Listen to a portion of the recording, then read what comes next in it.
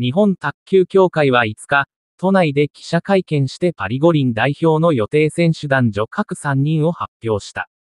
女子の残り1枠には、15歳の張本美和、15イコール木下グループイコールを抜擢。2年間の選考ポイント合計では3番手の伊藤美馬、23イコールスターツイコールに次ぐ4番手で終わったが、国内外で急成長を見せていた。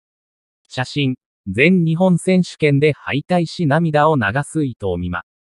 よく言えば大胆、悪く言えば少し粗雑な印象も残る思い切った選考だった。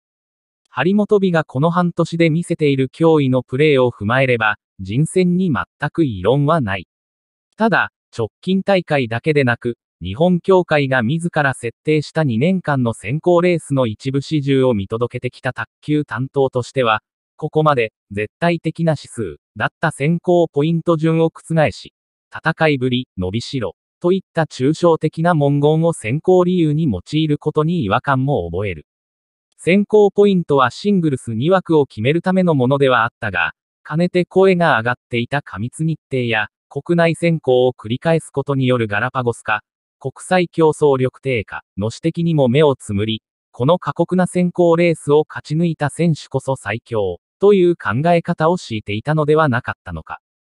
戦略的に明示できない事情もあったかもしれないが、選考ポイント下位選手を選ぶにあたっては、より客観的に明確な理由を挙げてほしかった。さらに残念なことに、日本協会の幹部がテレビ番組で、代表発表直前のデリケートな時期にもかかわらず、団体代表有力選手として個人名を挙げる失態もあった。馬場強化本部長は、個人の見解で、選考に影響していない、と否定したものの、後味の悪い一件だった。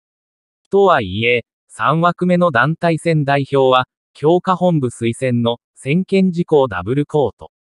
仮に選考ポイントや世界ランクが低かろうと、この選手なら勝てる、と踏んだ選手を選ぶ権限がある。